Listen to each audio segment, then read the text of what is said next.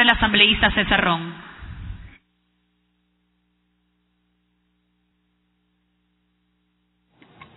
Gracias, Presidenta, señoras y señores legisladores.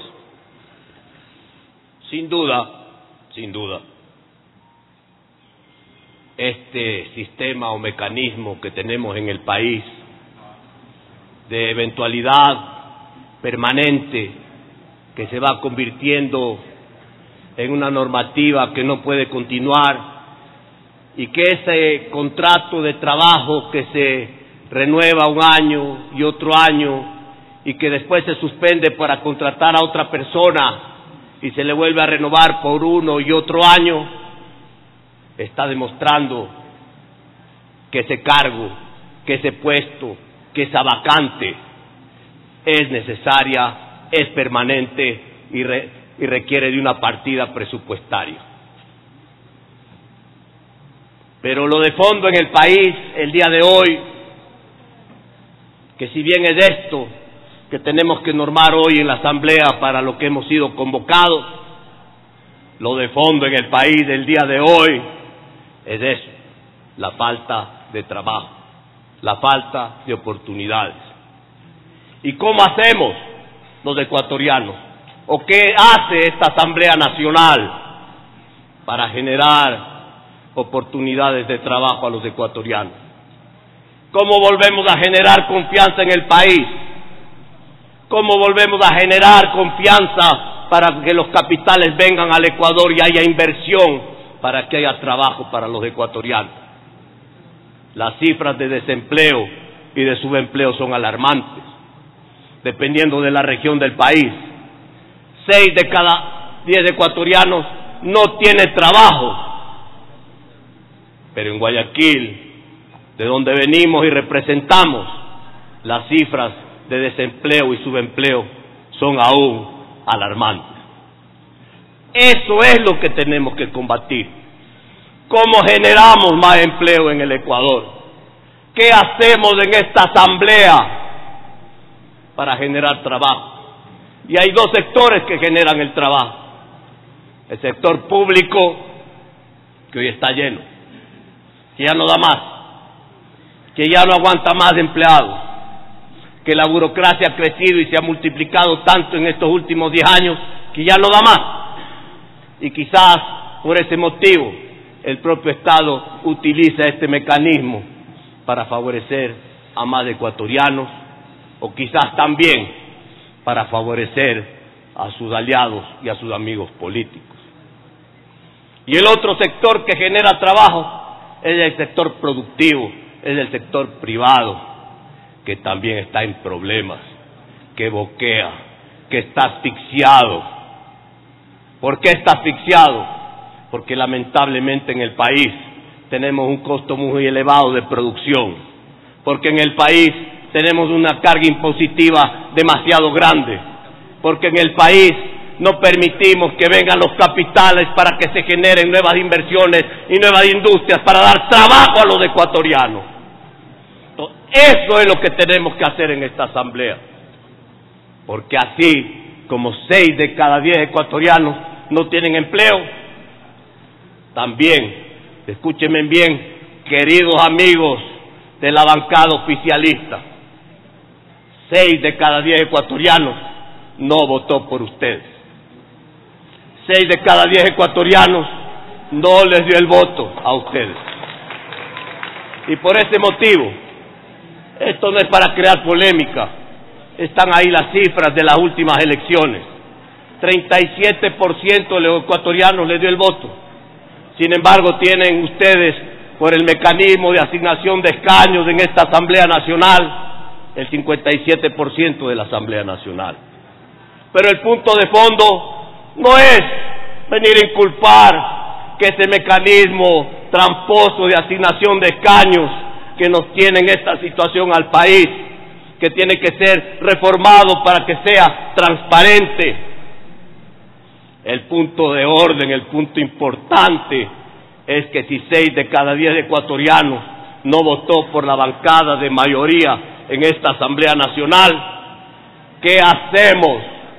¿Qué hacemos queridos amigos asambleístas, compañeros de bancada, ¿qué hacemos para generar las mejores condiciones de vida, de trabajo, de prosperidad? He escuchado con preocupación, señora presidenta, en la última sesión de la Asamblea, un discurso encendido, un discurso de confrontación, un discurso que aleje el diálogo, un discurso que no permite los acuerdos. Y cuando tenemos que tener acuerdos, diálogo y responsabilidad, hay que dejar de lado el discurso encendido. ¿Cómo entender cuando nuestro compañero Olivo, que viene de un grupo de Pachacuti, del grupo indígena de nuestra nación, cuando él propone que venga el fiscal de la nación a la asamblea, votamos en contra. Cuando él vuelve a proponer que venga el contralor y que se trate el caso de la Odebrecht, votamos en contra. Creo que ha llegado la hora de terminar con el radicalismo. Gracias, Bombón. Ha llegado la hora de escucharnos. Ha llegado la hora de conciliar. Ha llegado la hora de buscar acuerdos. Hace diez años en Montecristi, lo dije y lo reitero hoy, perdimos la oportunidad histórica de escucharnos los ecuatorianos. Y en diez años, ¿cuántas veces se ha violentado la Constitución? ¿Y por qué se violenta la Constitución? Porque lamentablemente el traje que se hicieron a la medida o les quedó chico o les quedó muy grande. Pero no podemos seguir violentando la norma constitucional. Tenemos que respetar la ley de leyes, tenemos que respetar la Constitución y les vuelvo a reiterar en este tema, fundamental del trabajo, del empleo. ¿Cómo hacemos para generar más trabajo? Ese tiene que ser el reto de esta Asamblea Nacional.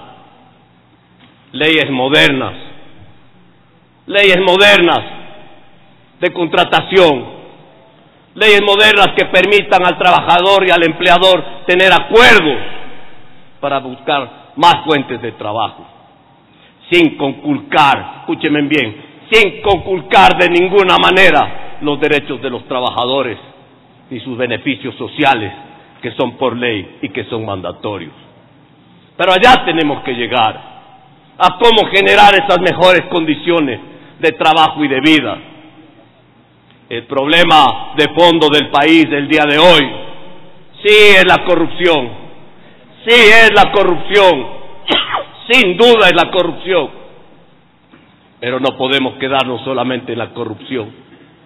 Tenemos que avanzar cómo ponemos en marcha la economía, cómo recuperamos el trabajo, cómo recuperamos la producción, cómo recuperamos la inversión, cómo hacemos regresar los capitales al Ecuador.